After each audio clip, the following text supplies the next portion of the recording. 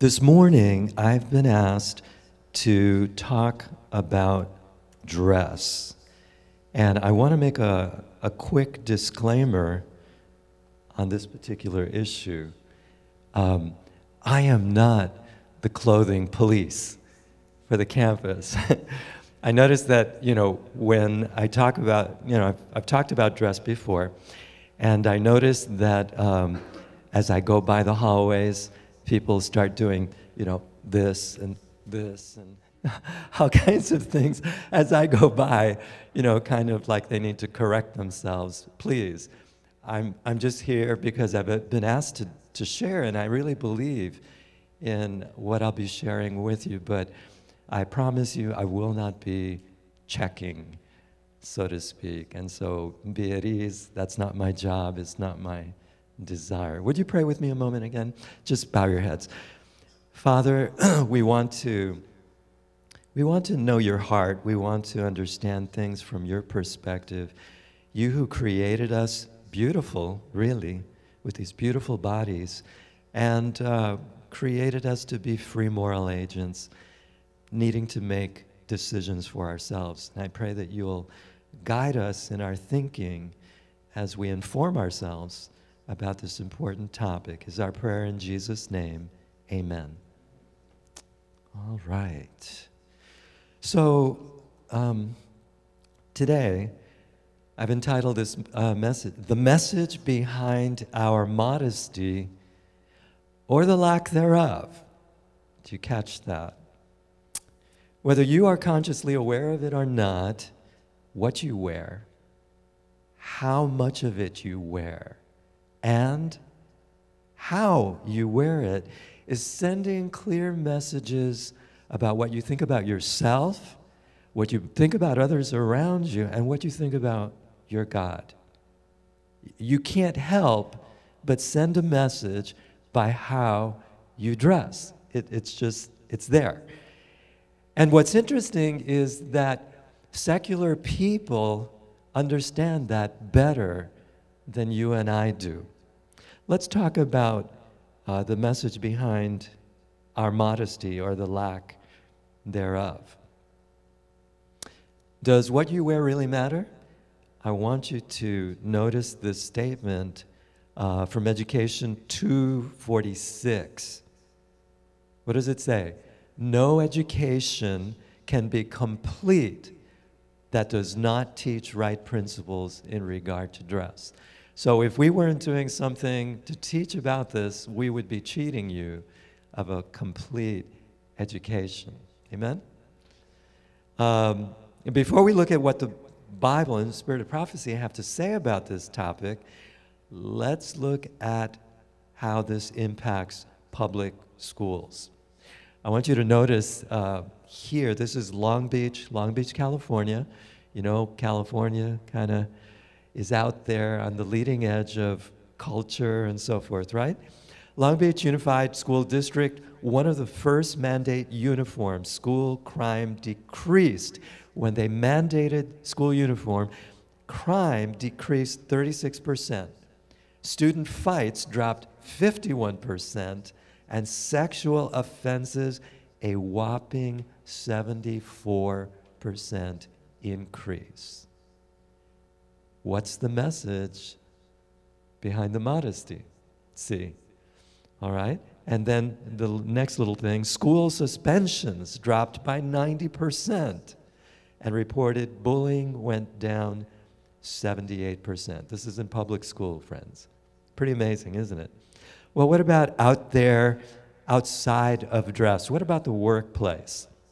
Well, notice this statement, uh, several from different uh, training seminars and you know leaders, thought leaders in uh, the workplace.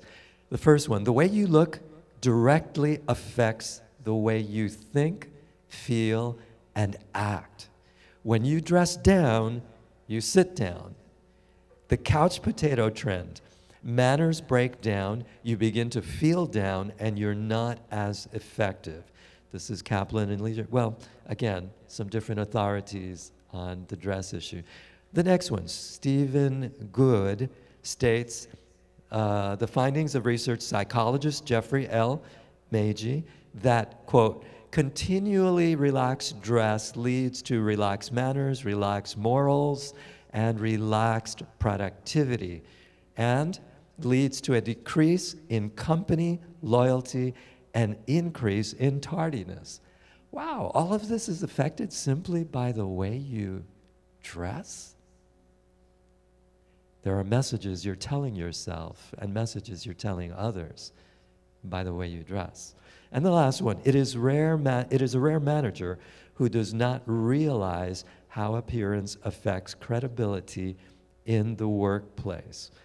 Uh, the manager's desk, reference New York American Management Association. So, business managers, psychologists in the world recognize the impact of dress and modesty on attitudes, morals, and productivity. Satan is certainly aware of the power of dress or the lack thereof. Um, notice this statement from 4T 647, paragraph 2. Fashion is what? Deteriorating the intellect and eating out the spirituality of our people.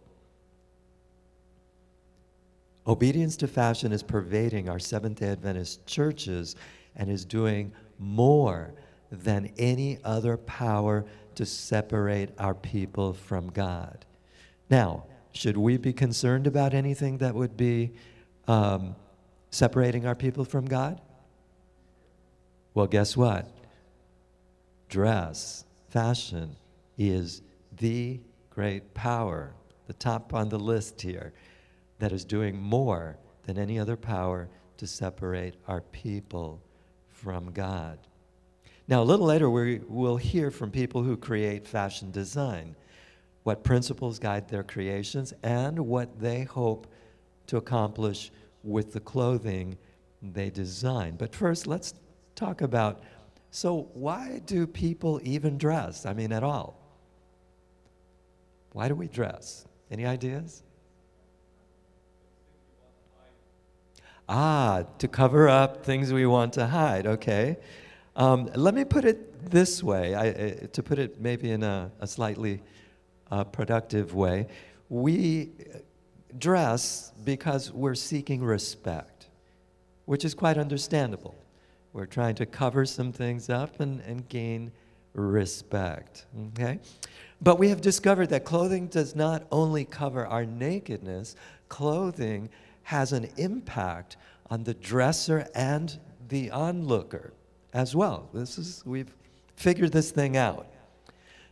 After much study, analysis, comparative research, discussion with colleagues, we might theorize that in the early stages of development, girls and boys like to dress for the following reasons.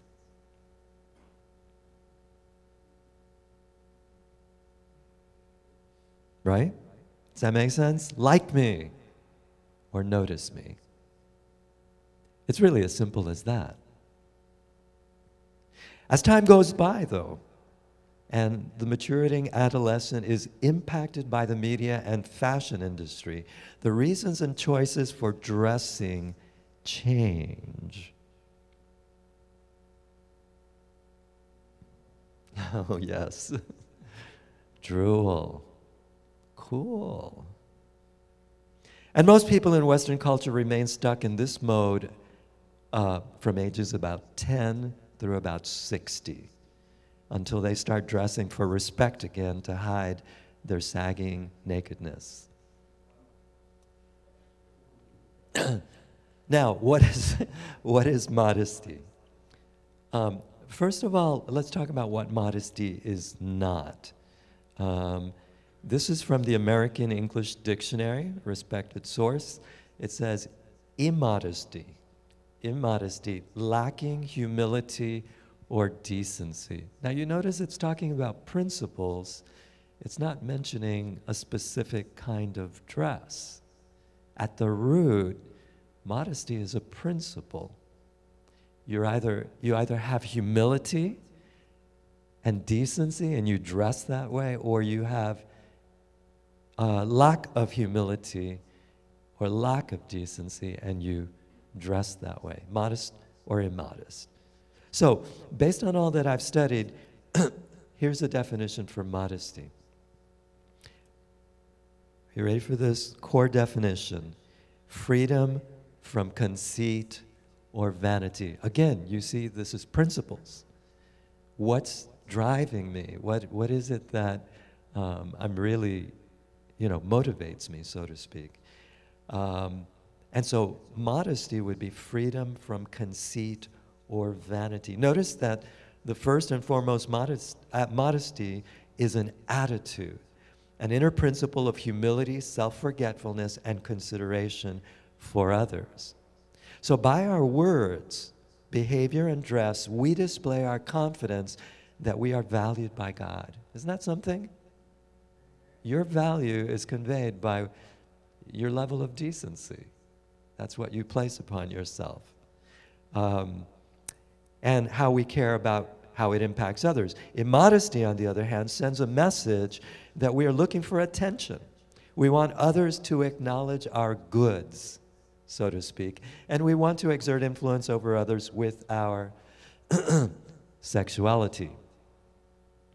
That's not confidence, that is vanity, conceit, and even manipulation. So, the real question when it comes to dressing is not, how do I look? Uh, but rather, what message am I choosing to send about my heart condition? Is it humility or is it vanity? It's a different way of looking at the question when you get up in the morning to figure out what you're going to wear, isn't it? Look at this statement here. Um, and boy, one ORH. I don't even. 10 ORH. Review and Herald, something like that. Yes, 11, 26, uh, 1914. Let believers avoid everything that approaches to pride and self esteem. Cultivate modesty of deportment. Humility is repeatedly and most expressively enjoined in the scriptures. Peter says, Be clothed with what? Be clothed with humility. What does that look like? When you look in your wardrobe, can you say, This is humility? And, ooh, I better Maybe I should give that to Goodwill. No, don't give it to Goodwill. somebody else is going to know it. Somebody else is going to wear it. Notice what it goes on to say. Cultivate modesty of deportment. Humility is repeatedly and most expressively enjoined in the scriptures. Peter says, Be clothed with humility, for God resisteth the proud, and giveth grace to the humble. The wise man declares, Before honor is humility. And Jesus taught his followers that, quote, he that humbleth himself shall be exalted. Wow, that's the way it works in God's kingdom. Thus saith the high and lofty one that inhabiteth eternity, whose name is holy. I dwell in the high and holy place with him also that is of a contrite and humble spirit to revive the spirit of the humble and to revive the heart of the contrite one. Blessed are the poor in spirit, for theirs is the kingdom of heaven. You know, I think if we incorporate these principles into our lives, nobody needs to tell us how to dress. We'll figure it out.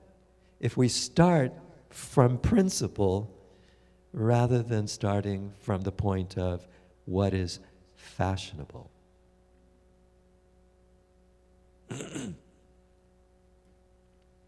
so, we've already looked at freedom from conceit or vanity. Number two, a little more direct propriety. Propriety in dress, speech, and conduct. Okay? So, what I want to do very quickly, well, as quick as we can, is look at four biblical principles of modest dress. What kind of dress? Modest dress modest dress, okay? Um, these are Excuse me. Uh, there are Madison Avenue principles of modest dress.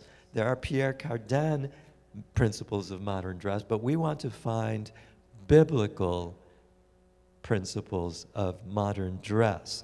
We need to hear from our designer what real modesty is. So, our first and most fatal mistake in the dress issue is looking for what modern society says is modest, and, what it, and that is an incremental, slithering slide towards Sodom.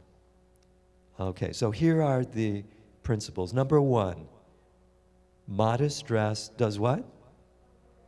Covers our nakedness. Now, this comes right from Genesis. Okay?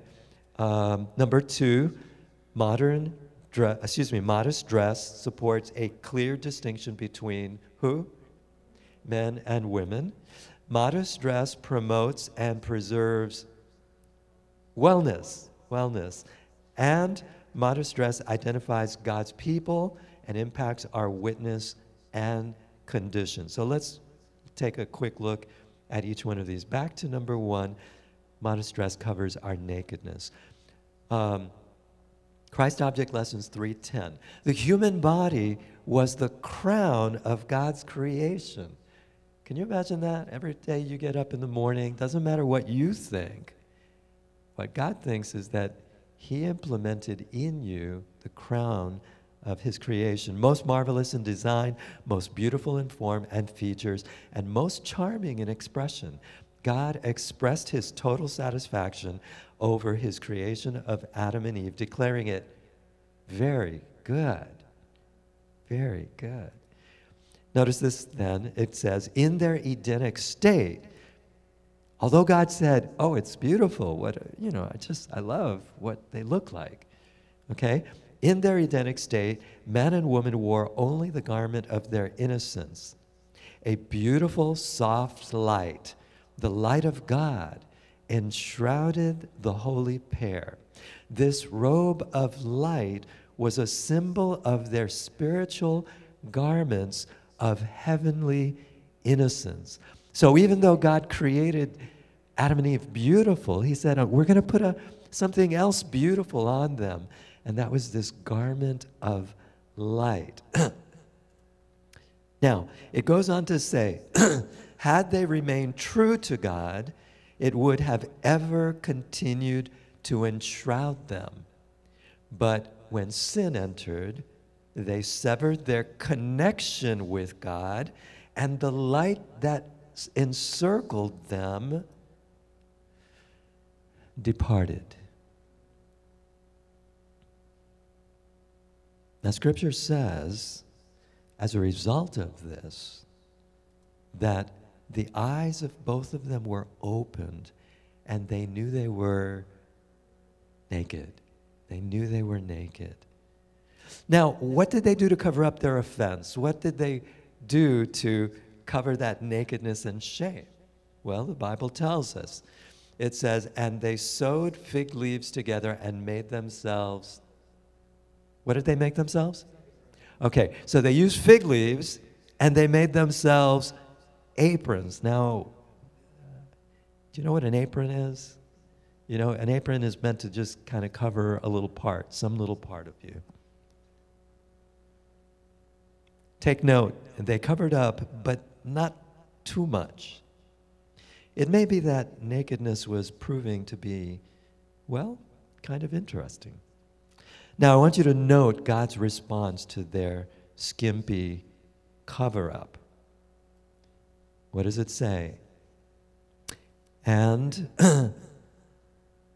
unto Adam also and to his wife did the Lord God make coats or tunics of skin, and he clothed them. Do you see the contrast?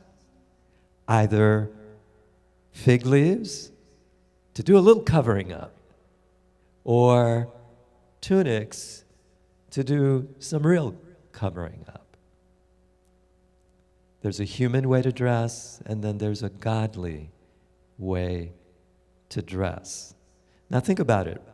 Right at the very beginning of humanity's experiment with sin. After losing their wonderful garments of light, oh, Adam and Eve sensed the need to dress. But God knew that they were going to need more than fig leaf aprons to deal with the newly awakened desires of the flesh.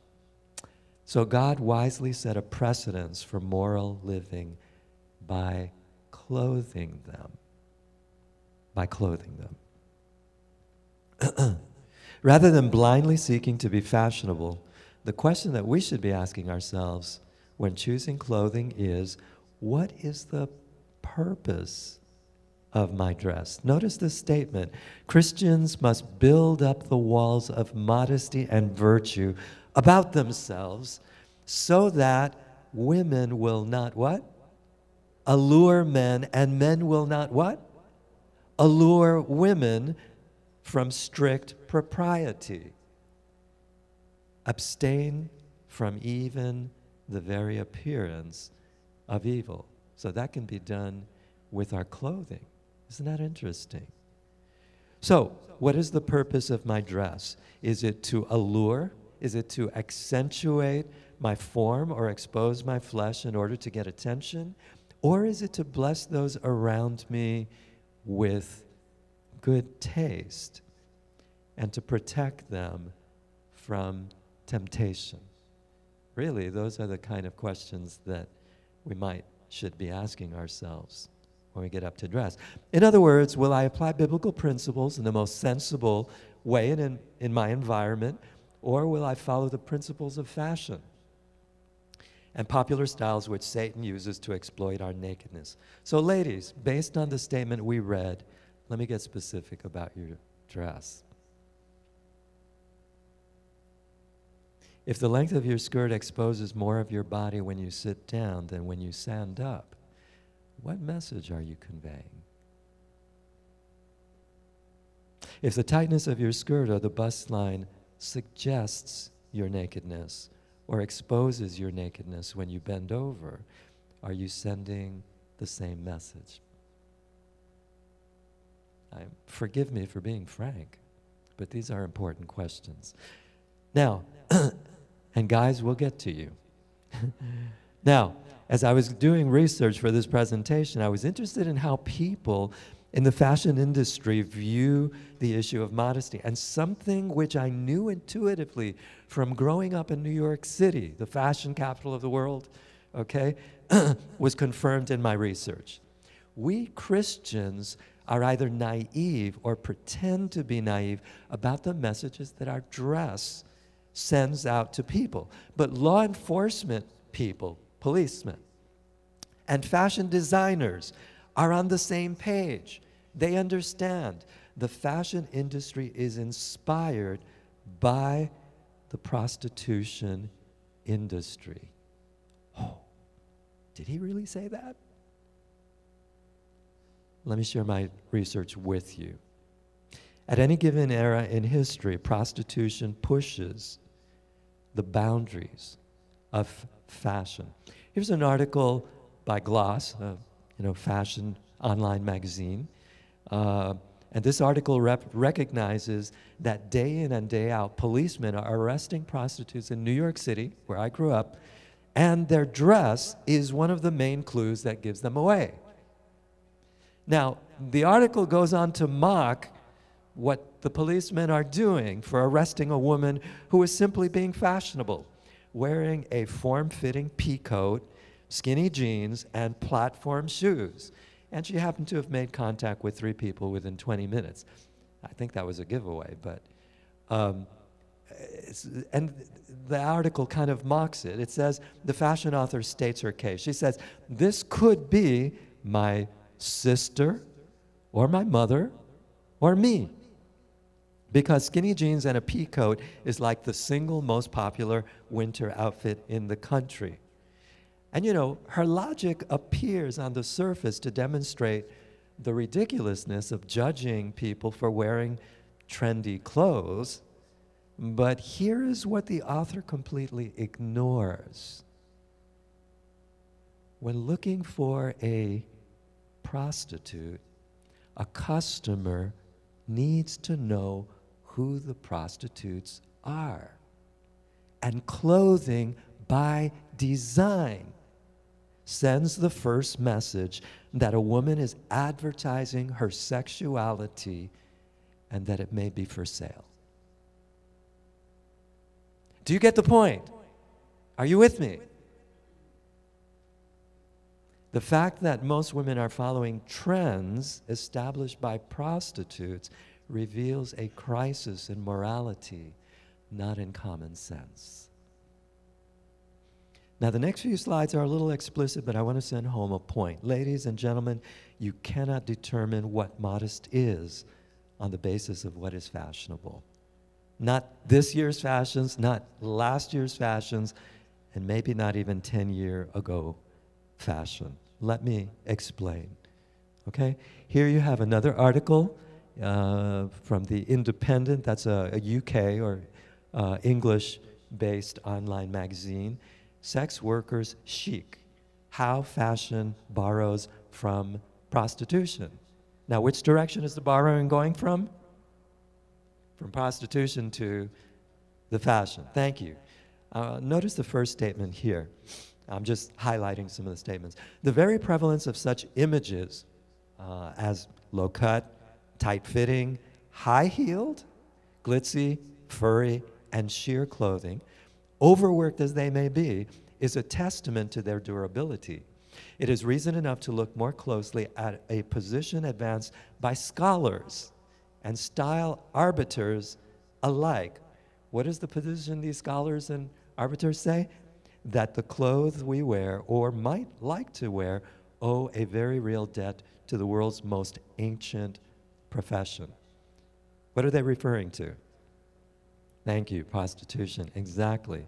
Uh, notice this next statement. Fashion right now is influenced by hookers, says Anna Terrazas, custom designer of The Deuce, which is a TV show about prostitutes, of all things. It is not the other way around. In a sea of eye numbing conventionality, a maverick appearance is their signature. For someone employed on the busy streets, Terrazas says, the point is to be seen. The point is what? Is to be seen. Okay. Here's another one. Uh, not a groundbreaking concept exactly. There is an untold history of the relationship between sex workers and fashion, said Rebecca Arnold, a fashion historian and lecturer at the Courtauld Institute of Art in London. As fashion early adopters, working women, again, the street women, working women, routinely took up what their respectable contemporaries shunned as too showy, tasteless, or new. Because after all, the, the point was to be seen. The point was to be seen, right? Okay. One more.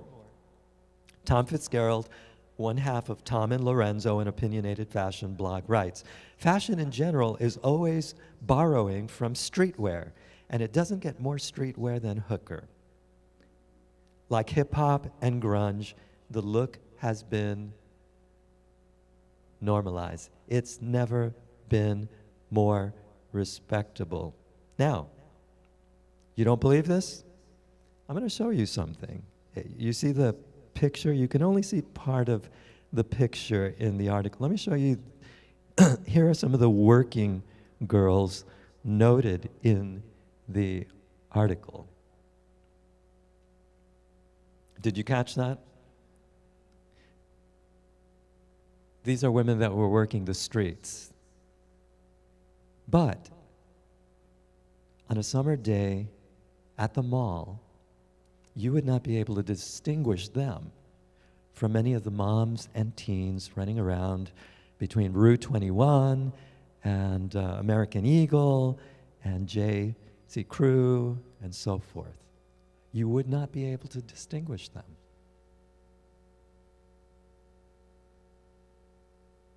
Did you notice the fig leaf aprons they were wearing? Yes. Yes. You may say, Pastor Sam, well, why go through these articles? Why? We, we don't dress like that around here.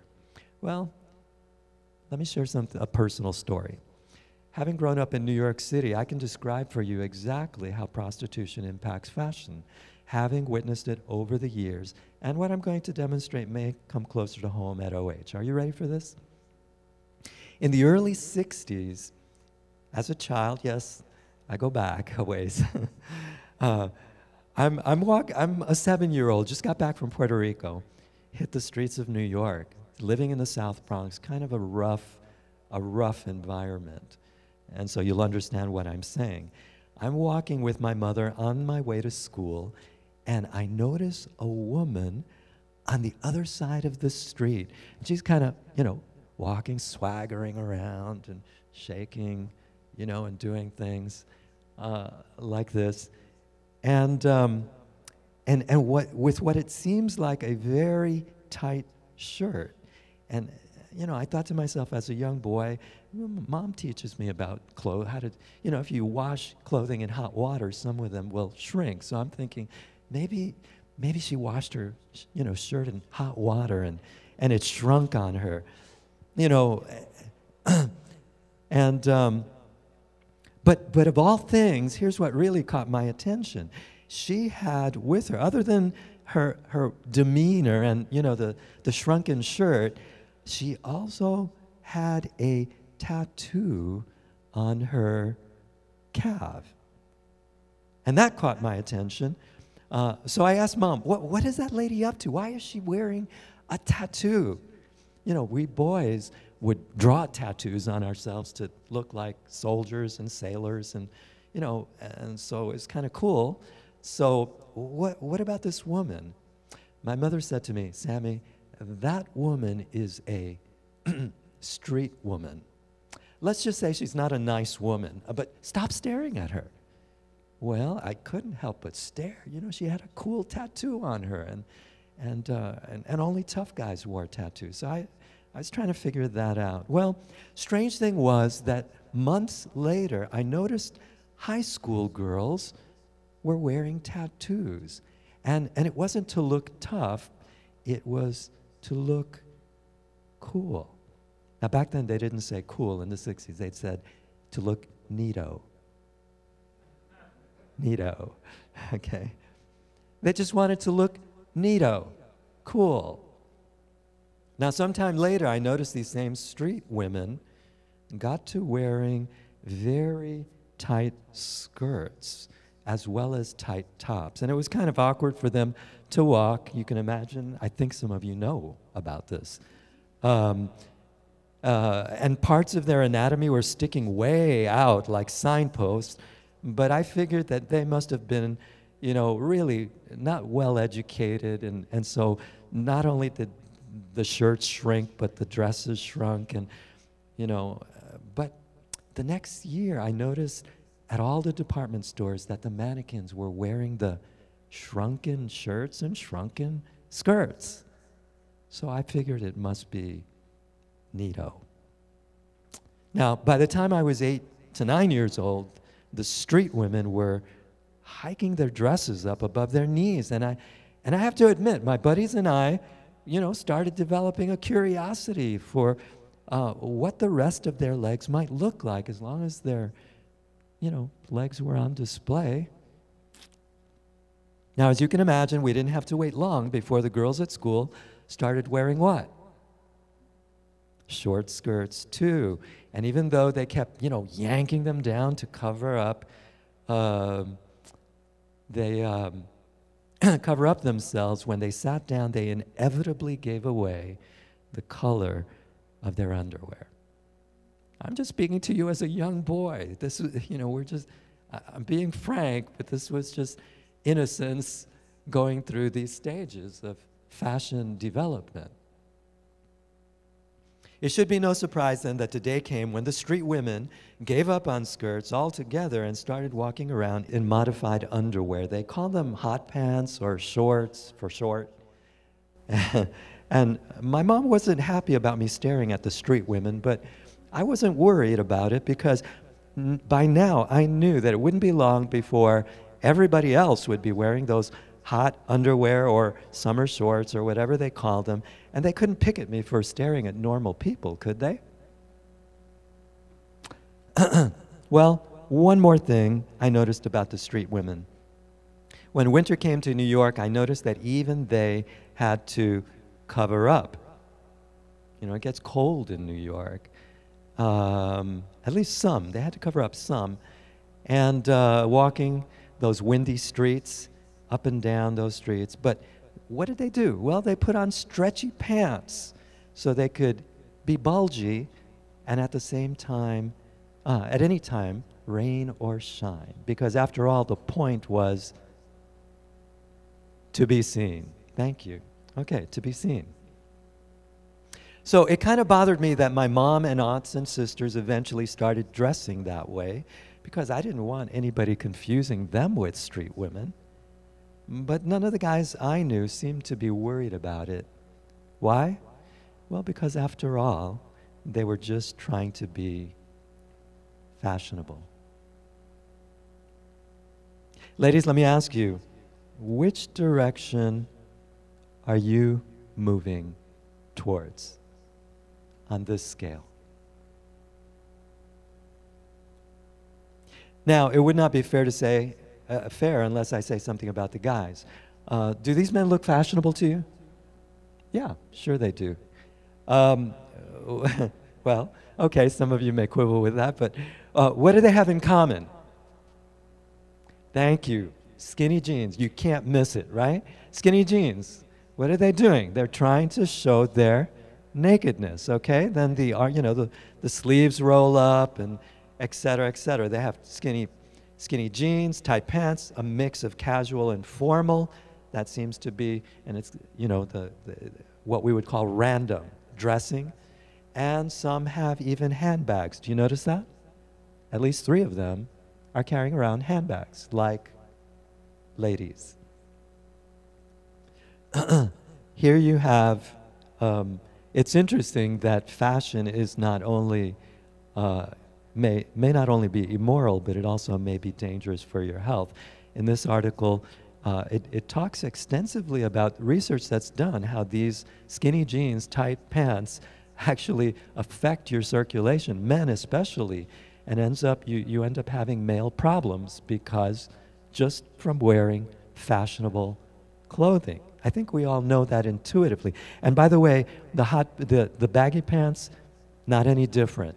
It just causes problems in different parts of the, physi- of the physiology. Well, let me keep going. I know my time is running out. Just in case you think fashion designers just keep putting out random clothing that have something new, to have something new and different, I want you to take a look at this ad.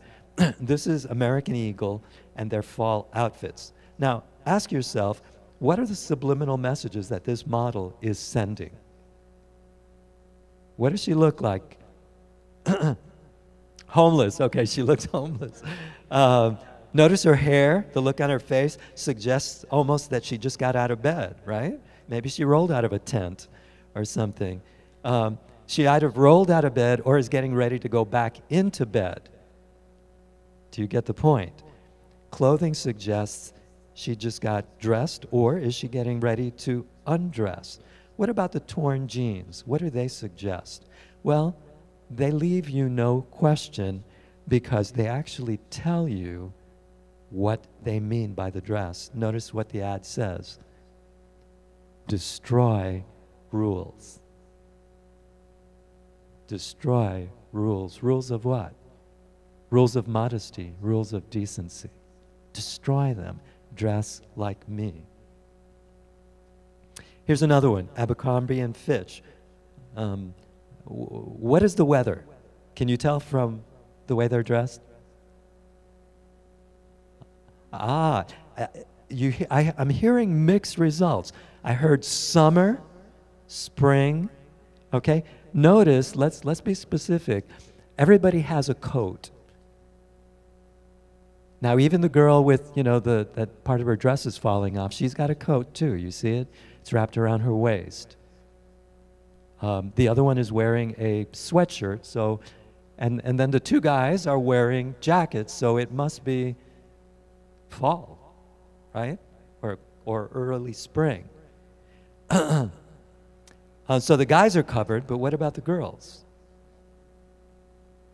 Notice It's because the women are being exploited, exploited in this ad. Okay, they're being used as bait. Um, they are bared to get your attention. Um, now, the ad, it, interestingly enough, asks a question. And the question the ad asks is, where now? In other words, they're dressed a certain way, where now? And um, the answer is looks that go, it's very small, but it says looks that go from AM to PM back to AM. Oh, yes. Can, they're being explicit. They are dressed for, yes, exactly. I don't think I need to say anything else. Through media and all, and, the, and at the mall, we are saturated with these subliminal messages from godless fashion designers hungry for your attention and your money, telling you you are not cool unless you wear fig leaves. Okay, I, I know my time is. Number two, uh, modest dress distinguishes men from women. Very quickly, notice here Deuteronomy 22, verse 5 A woman shall not wear anything that pertains to a man, nor shall a man put on a garment, a woman's garment, for all who do so are what? An abomination to the Lord. Now, the argument is often put forward that men and women all dressed in skirts at that time, so what's the difference? Well, Moses would be foolish to make any comment if there weren't differences. Uh, would you agree? Okay, so there were differences. Um, and this is what the Hebrews, uh, Hebrews Moses uh, wrote that, excuse me, you would look like at that time. First of all, look at the similarities. There were undergarments that they wore, which was a long tunic or coat, and then there was an outer garment, a robe or a mantle. I think that's clear. Um, note that nobody's wearing fig leaves, right? Would you agree? Okay, tight or revealing clothing. And then what about the differences? Well, the woman's garments were longer. They were longer, uh, finer materials, and they were, you know, feminine touches that were appropriate. The men's were shorter, they were looser, and they were more action ready. After all, you might have to go out there and gird your loins, you know, grab, pull up your, your, your, your tunic, wrap it around your waist, and, you know, work in the garden or do, do some things, or run, or fight, you know, in war. so they had, they dressed that way. I want you to note that even pagan Egyptians who were not as modest in other ways had the same distinctions. The women are dressed with longer dresses, right?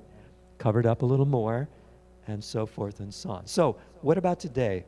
Should we all be wearing skirts? Well, there are modern cultures that still bear similar dress styles, but note that they maintain the same differences as well. You can still see it very clearly, same principles at work in modern in cultures that still dress this way. Please note this custom counsel, which is on our own culture. This is from First Testimonies 470, 457. There is an increasing tendency to have women in their dress near as the uh, their dress near as the other sex as possible, to fashion their dress very much like that of men, but God pronounces it what? An abomination an abomination. Do you want to know what she was talking about? Now, this is not too long ago. So, what is she talking about?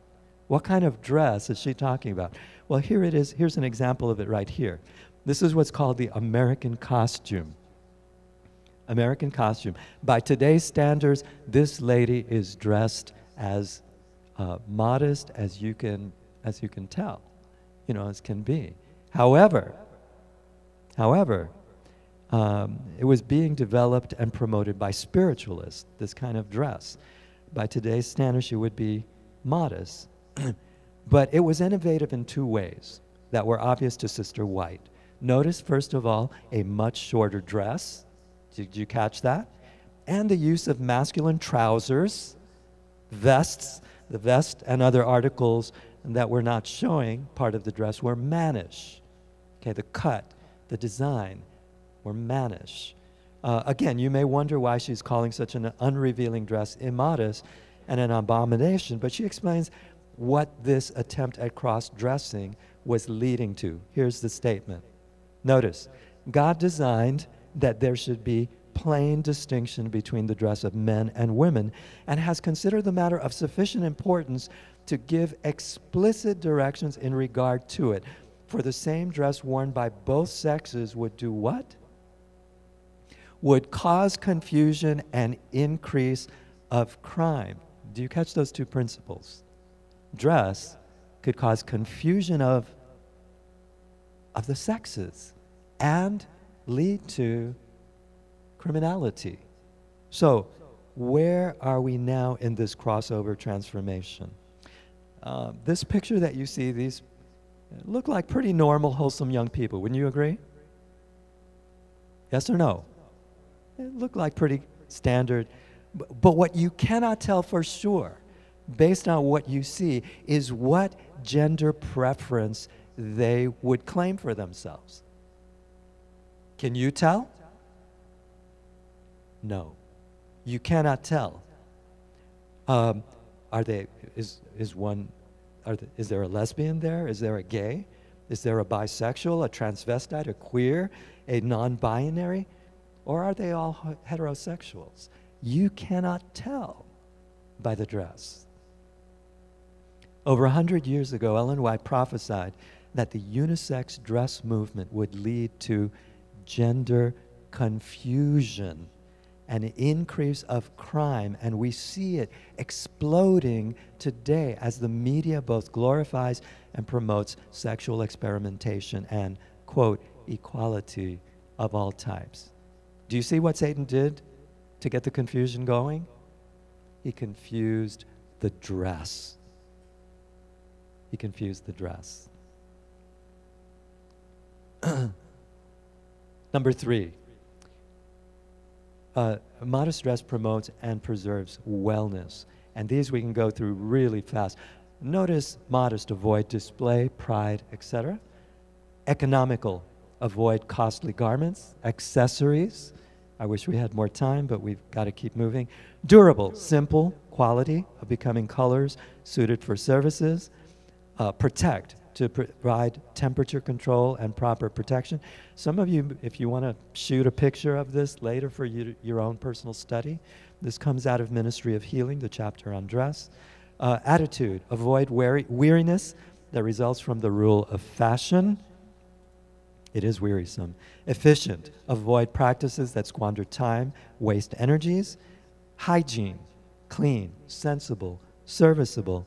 Circulation, protects limbs, loose fitting garments, waist, and finally, body needs. A study. It body needs, climate, health conditions. In other words, it takes study to dress modestly, to apply it to your circumstance and situation.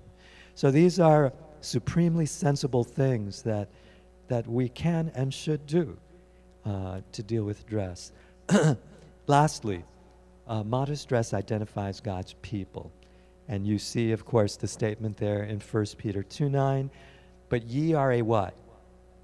A chosen generation, a royal priesthood, a holy nation, a peculiar people.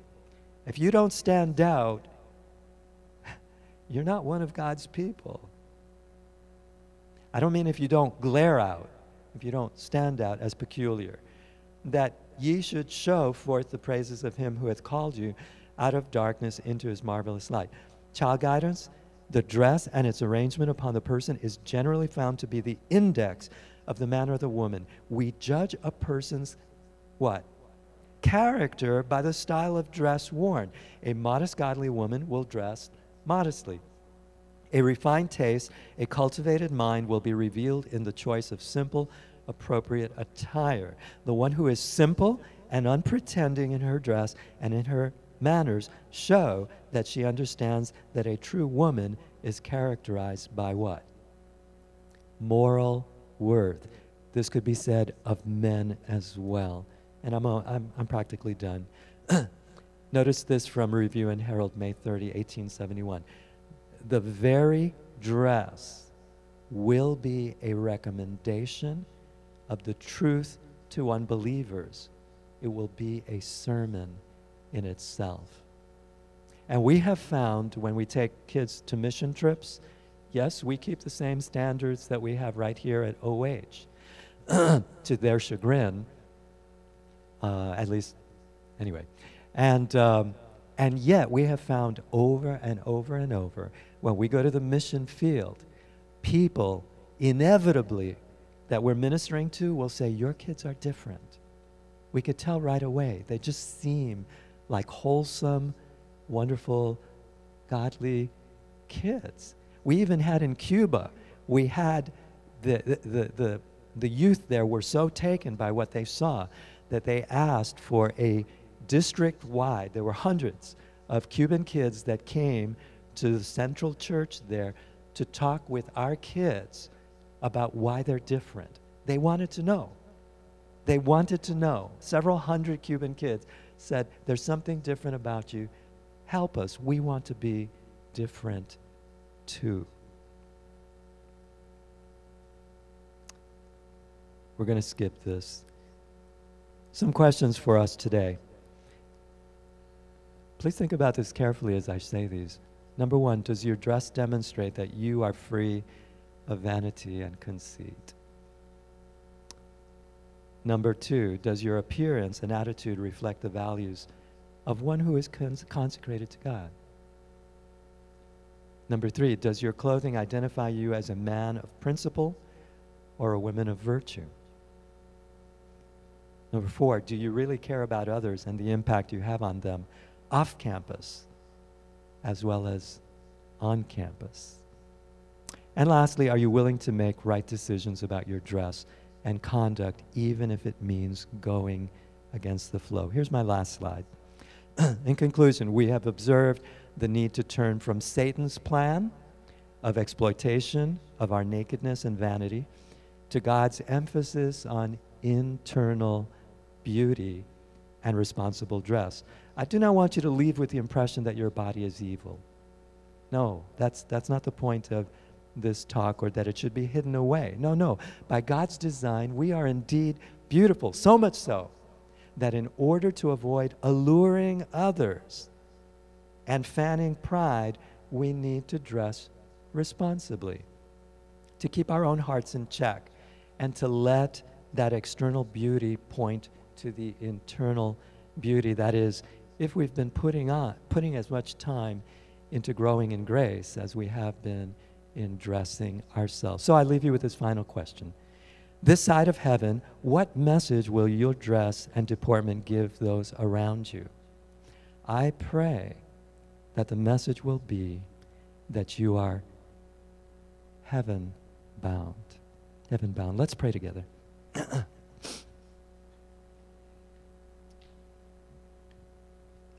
Lord, we have a lot to digest this morning. I pray that the big idea has come across, Lord. That we cannot look to the world to understand what modesty is. That we need to go to you and to your word to really, truly understand how to dress, how to be modest.